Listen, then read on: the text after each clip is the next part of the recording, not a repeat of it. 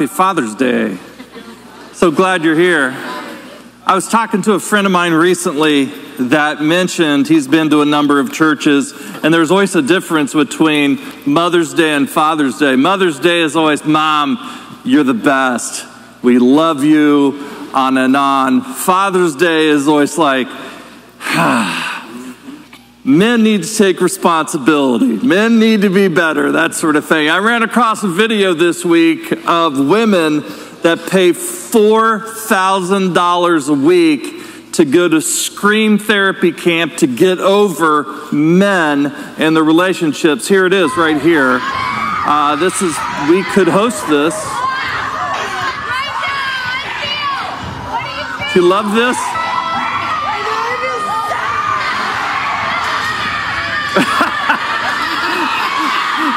Ah, that's, that's somebody's wife right there. yes. Oh my gosh.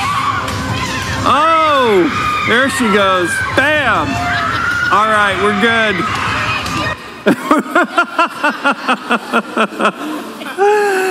Men are usually scapegoats, and we're going to talk about that today. Uh, in World War II, Dr. Murray Bowen was a doctor that tried to help men who were suffering from anxiety. And he had been trained in Freudian analysis. Freudian analysis essentially all of your problems are inside. Sit down on a couch, let's delve into your subconscious. The problem is in there. But he discovered that actually the how they handled anxiety had a lot to do with the people that he lived with out here. The problem wasn't in here, the problem was out there. And Bowen was the one that developed family systems theory that problems don't begin in here and then take them out there, right? You got this thing that's going wrong with you and you bring it out. Instead, we take problems from out there and we bring them in here. Do you believe that? That the majority of our problems stem from outside, we bring them in, rather than, man, if we can just get to the core of what's messed up in your head or whatever, then we can fix everything out there. Usually, therapists before Bowen, they would say, Here is a guy named Jim. Jim has a problem. How can we figure out what's going on with Jim? And then Bowen said there's a better question to ask. The better question to ask is here is Jim. What is it about his family system that is causing Jim to act that way? And so Bowen says that in a healthy family, um, healthy families um, produce children that have a differentiated self. In other words, a young adult that has learned to face and work through issues still connected to their family in a loving way, but they have a differentiated self. They're healthy, they are differentiated in every way. And the problem that we're going to see in the passage that we're talking about today is that there is something that Bowen points out that is called family projection that usually what happens, the extended family, there's the process in family projection where parents will transmit their emotional problems onto their children. And that happens in unhealthy families. And the children, rather than becoming a differentiated self, um, they face some problems. And here's exactly how this happens. There are two examples. One is um, scan, diagnose, and treat. So uh, whenever you have a child that's going through something, you'll scan them, you'll immediately you'll diagnose them, whether you know you're doing this or not, and then you'll treat them. And usually this process follows three steps, Bowen said. Parents will fear something is wrong with a child, they will find evidence that confirms their fear, and then they will treat their child as if something is actually wrong without actually having any empirical evidence whatsoever. And so, two examples of this are number one, self esteem projection. Right? A parent scans their child, finds evidence that they have low self esteem, and as a result, what do parents naturally do for a child that has low self esteem? You'll constantly praise them. You'll constantly encourage and praise and praise and praise and praise and praise. And when the child eventually gets to a point where they don't get praised, which is basically the rest of their life, it affects their self esteem. And this is what parents are doing. They're projecting onto their child that an issue that usually they're wrestling with.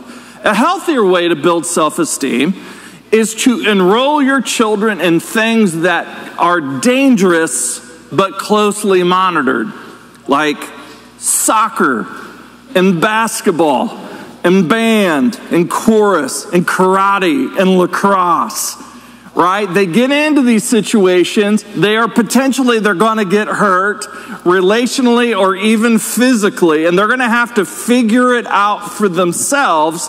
And what they discover is i am enough. Someone that has learned early on that i don't need the constant intervention of parents to work they learn that i am enough these are the type of boys and girls that grow up in a marriage situation and they say, I am enough, and they're able to recognize unhealthy paradigms. Another one is anxiety product, projection, where the parent will fear that the child is anxious, and so what will they do?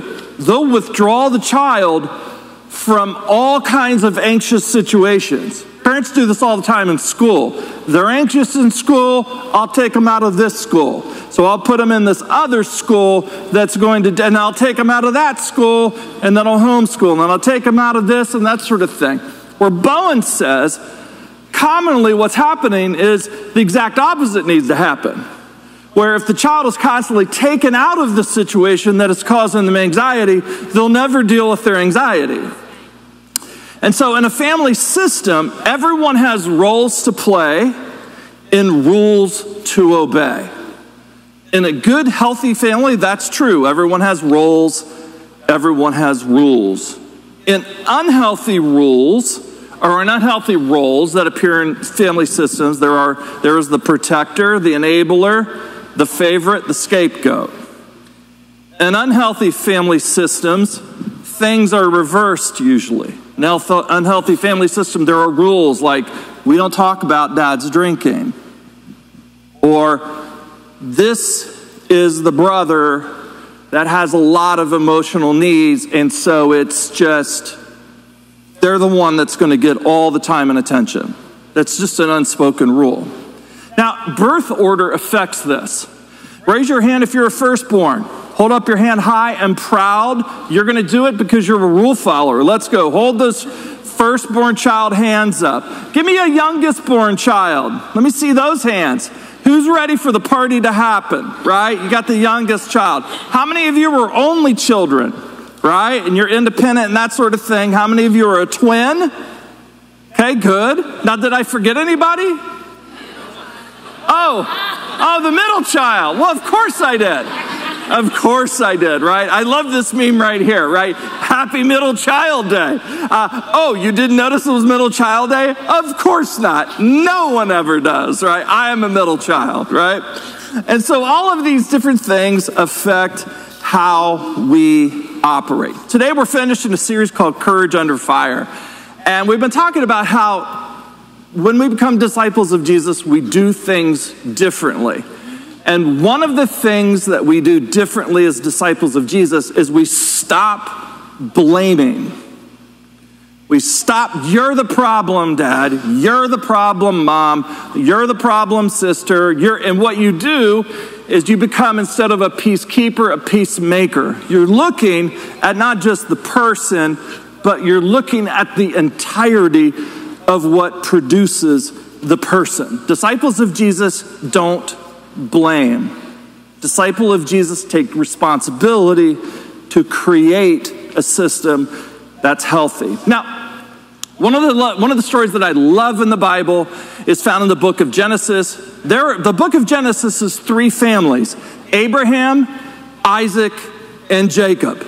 Basically, father, son, grandson. Abraham, Isaac, and Jacob. And so, what we're going to do is we're going to look at how God takes this really broken family system and he redeems it. And that's because everybody loves a redemption story everybody loves to be a part of a redemption story, and everybody wants their story to be redeemed. Everyone, in some way, shape, or form, needs God to intervene and to help heal and change. Now, turn in your Bibles to Genesis chapter 25, verse 19. As I read this, I want you to pay attention to this. You're going to automatically notice things that just seem not right. This is 4,000 years ago, and it begins This is the account of the family line of Abraham's son, Isaac. Abraham became the father of Isaac, and Isaac was 40 years old when he married Rebekah, daughter of Bethuel the Aramean from Paddan Aram, and sister of Laban the Aramean. Isaac prayed to the Lord on behalf of his wife because she was childless, and the Lord answered his prayer. And his wife Rebekah became pregnant. The baby jostled each other within her, and she said, Why is this happening to me? She went to inquire of the Lord, What's going on in my stomach? Two nations are in your womb, two peoples from within you will be separated. One will be stronger than the other, and the older will serve the younger.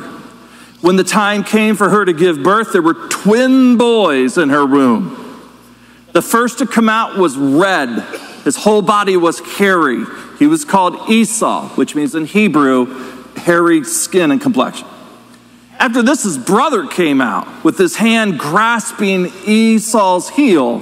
So they named him Jacob. Jacob means the one that grabs the heel. Isaac was 60 years old when Rebecca had twins. The boys grew up. Esau became a skillful hunter, a man of the open country while Jacob was content to stay at home among the tents. Isaac, who had a taste for wild game, loved Esau, but Rebekah loved Jacob. So if you haven't picked up on that, let me just sort of identify. There are four unhealthy family dynamics going here. The first is Isaac and Rebekah's favoritism. You're like, this is parenting 101. What the heck? What a jerk move. You don't favor one child over another. You just don't do that. That's, that's basic. That's the obvious one that you see. The better, the better, you know, Freud would say, what's, what's the problem with Jacob or what's the problem with Rebecca? And what Bowen would say is, what was going on in Isaac and Rebecca's family system that made them pull such a jerk move? Dynamic number two Isaac and Rebecca's age. Isaac is the only person in the Bible that paid a, that paid a pediatrician with their social security check. I want you to think of that, right? Now, historians tell us in the ancient Near East 4,000 years ago, if you reach 95, you have outlived 95% of the people on the planet. Your teeth had rotted out, your eyesight was gone, your hearing was gone, you have worms in your intestines, you spent a lifetime with protein deficiency, and someone hands you twins and says they need to be changed. Can you imagine that dynamic? Third dynamic. Dynamic number three Isaac and Rebecca's terrible role models. Now, Tolstoy says happy families are all alike, every unhappy family is unhappy in its own way. And Isaac's father, Abraham, was jacked up. This bro was Genesis chapter 12. His wife Sarah was beautiful. God calls Abraham and Sarah to leave the, the, the, the, Fertile Crescent, come down to Israel, and what's the first thing he does? He knows all the men there are going to kill him, so he says, Sarah, his wife, is what? His sister. And you can just imagine what happened there. Genesis 16, Sarah can't have kids. So Sarah tells Abraham, Why don't you have sex with the housekeeper and have a child. Listen, men, that's a bad idea. Don't do that. Genesis 20. Again, people were falling in love with Sarah. So, what does Abraham do? Did he learn from his mistake? No. What does it say? He said, She is my sister. So, if this was your dad, Can you imagine how that would affect you? Dynamic number four Jacob and Esau's different personalities and gifts. Verse 27 says, The boy grew up. Esau became a skillful hunter, a man of the open country. Now, if we were trying to describe a young man today like that, how would we describe them? They're an outdoorsman, right? They have an Instagram account where they go on adventures, hiking in the back country and hunting and eating their own food and that sort of thing. That was someone that was very valued 4,000 years ago. It says, while Jacob was content to stay at home among the tents. Who would Jacob be today? Like a gamer, maybe? You know what I'm saying? Trying to tell his parents, I don't need to go to college. I'm already making $800,000 a year as a gamer as on my, on my, on my channel. Now, you have to ask the question as a dad, what is Isaac thinking? Isaac is looking at his two sons and he's thinking, he scans them, and immediately thinks there's something wrong with Jacob. What's wrong with this kid? And that's why God has you in the room today. So Isaac never hears his parents talk about the half brother Ishmael. Isaac never sees his parents resolve anything about the way Sarah is treated. Isaac brings two sons into this painful family situation, values Esau more, which causes Rebekah to value Jacob more, and then you fast forward to the teenage years. Because everybody knows as a parent, it gets easier during the teenage years, right? Verse 29 Once Jacob was cooking some stew, Esau came in from the country famished. And he saw Jacob in the kitchen. Quick, let me have some of that red stew. I'm famished.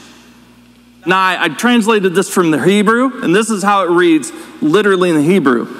Let me swallow, please, some of that red stuff, for I'm starving. Let me have some of that red stuff. Give it to me right now. You know, Brian Regan would say. You know, I'm going to die. Now, and so Jacob replies, First, sell me your birthright. What's a birthright? In the ancient Near East, the oldest son usually stayed nearby, and what they would do, the oldest son would receive more money in the inheritance to take care of the parents. And so Jacob, at home, a little sly, says, I'll give it to you. Give me, give me your birthright. Verse 32 Look, I'm about to die. Esau said, What good is the birthright to me? But Jacob said, Swear to me first. So he swore on an oath to him, selling his birthright to Jacob. And then Jacob gave Esau some bread and some lentil stew. He ate and drank, and then he got up and he left. Now I want you to notice this line Esau despised Jacob. Now, did Esau just not like Jacob? Or were there other factors in play that helped him not like his brother? Here's the thing I think this passage is saying to all of us. As disciples of Jesus, God is calling each of us to allow Him to redeem our story and our family story. I have drawn you a picture in a while. You ready? Get ready. Here's, here's, here's what you get, people um, I'm going to have to draw it again here.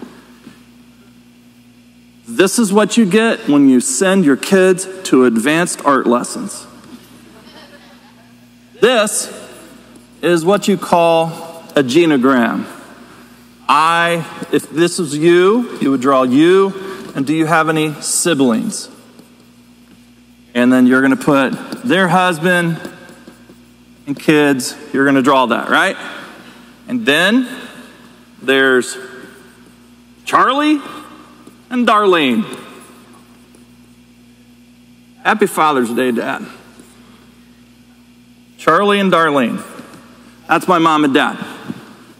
They have siblings, right? Right? My dad had two brothers. My mom, two half siblings. My dad's dad, Frank. His dad, Marcus. His dad, Ambrose, who was caught in a Civil War camp. And when he tried to escape it, was shot in the back. And then him, John Ray, who lived in Virginia and came all the way over to Kentucky. This is called a genogram. And your assignment from Jesus, or you will die, is to draw a genogram. And what I want you to do is I want you to draw a genogram and I want you to fill in every possible person. This is Frank and Rika. This is Marcus and Sarah. This is Ambrose and whatever. And what I want you to do is I want you to write down the stuff. I remember I was visiting home one time and I'm showing dad, and I had jotted down little notes in the gen- genogram. And my dad said, Wait a minute, you're not looking for that stuff, are you? I said, What? What, what do you, what? Actually, yes. I'm looking for the stuff. He said, Don't go digging up that stuff. And I said, I would like to know about myself. And so, what I want you to understand is that you, where you are right now, you are the sum total of five, four, three, two, one, five generations, they say. All of that is your family system. All of it has a direct relationship to who you've become. And your job as a disciple of Jesus is not to be the person that says, My family sucks, you suck, you're the worst, but I want to understand where I came from. And as Joseph said in the Old Testament, it stops with me. Okay? So, what I want to do is I want to ask a couple questions here. This is going to help you as you assess where you are. The first, first question is this Are you running from your family? Are you running from your family? Bowen said one of the coping mechanisms that kids will use to deal with pain in their family of origin is what he calls emotional cutoff. Now, some will literally leave home and go as far as possible. Others will emotionally cut off and leave home and avoid difficult conversations. There are many people, this is an area where people usually stay in the area. But my question to you is if your family is still in the area, are you emotionally cut off with them even though you may see them every single week? So we start in our 20s and 30s asking who we are. We get in our 40s and 50s and 60s. I've seen people here at CCV in their 80s and 90s get a picture on who they are and become healthier people. See, here's the thing. Here's the thing. God can't redeem what you keep avoiding. So the second thing is, how do, I, how do I know if I'm in the process of being redeemed? How do I know when I'm a healthy person in my family system. And I just want to point you to this quote from Scott Peck, and it's this You know you've reached maturity when you can go back into your family system and not revert back to your old patterns or hate your family members. Okay? And What I mean by that is you come back from college or you never left and you're here you know you're healthy when two things are happening simultaneously. Number one, when the family's back, you don't jump back into your old role, who you used to be and how you used to act.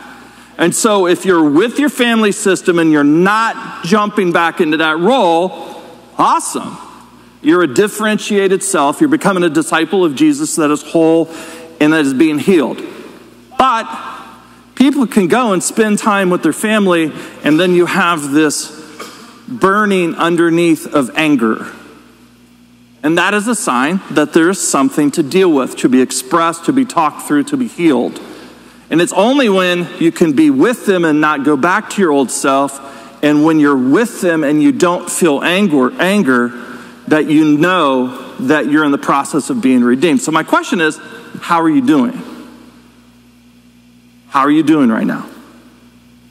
It takes courage to say, it stops with me. It takes courage not to blame.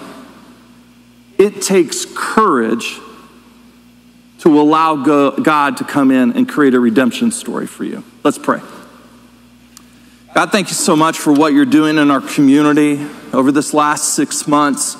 You have been bringing so much healing and you have been bringing so much insight to all of us. We thank you for the example of these people in Scripture. We thank you that you recorded them and you were honest. And we thank you that you've made a better way through Jesus. We pray this in Jesus' name. Amen. Thanks for watching today's message. Make sure to check out Brian's new book, Finding Favor God's Blessings Beyond Health, Wealth, and Happiness. To sign up for Brian's newsletter, please go to Brian's website at brianjones.com.